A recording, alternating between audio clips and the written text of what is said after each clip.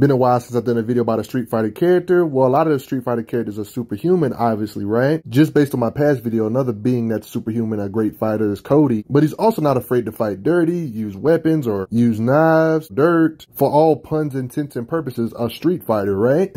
but how strong are we talking? Imagine being so addicted to fighting and street fighting that you get in trouble because you're starting street fights. He also got framed for something he didn't do. He was considered a hero. He's in and out of jail. He was one of the three heroes who liberated Metro City from the Mad Gear gang alongside his buddies Guy and Mayor Mike Haggar. He rescued his kidnapped girlfriend, Jessica. Cody grew bored of his peaceful life after he helped take down Mad Gear and became directionless ever since. He started getting into random fights and was eventually arrested for assault. He's given up on free life and feels his prison uniform has begun to suit him. That's Cody for you. Seriously, why isn't this guy the main character again? He actually street fights, kicking dust at you.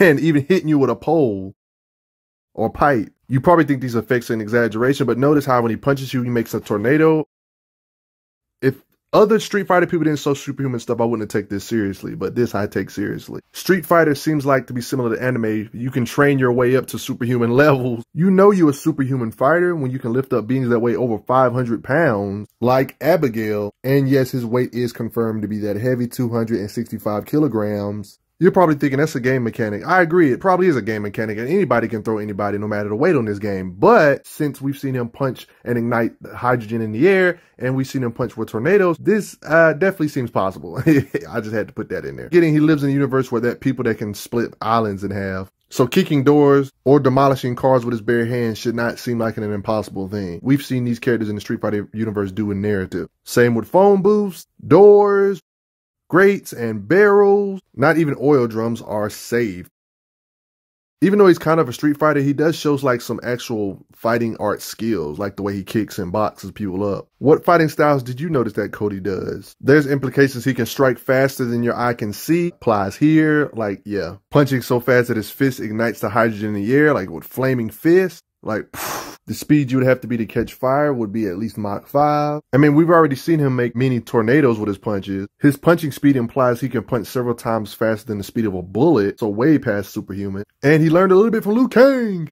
No, I'm just kidding. Different type of bicycle kick here. This guy will hit you with ordinary combos, then pull out the knife on you, then hit you more combos, then mix in the kicks with it even more. One can make an argument when you're this size and weight with this level of super strength, that's why he's fast. Because there's definitely implications he has super strength like being able to punch through brick walls like this and just break the cuffs himself. Yeah, you think you got him in jail? Nah, you got him in jail because he can just break out whenever he feels like it. No matter which game, you see him always doing stuff like this, no matter which intro. Boom! No walls. Super strength. He escapes his prison all the time, right? Because of his super strength. He's often strong enough to bust through 50 centimeter thick concrete cell, wall. Even in comic lore, even if you don't want to count it, doesn't matter. They still duplicate similar things. Like in comic lore, he was in a fight and he was hand cuffed to a hand railing. You thought this was going to stop him? He just says, let me just pull the whole thing off. Hilarious, right? Just so he can fight with Ryu, the star. Yeah, you can count this if you want to. There's implications he's up there with some of the best fighters in Street Fighter, the top tiers. Well, he did knock out three Bison dolls with one kick. I'm just saying. Cannot beings through thick sheet of glass.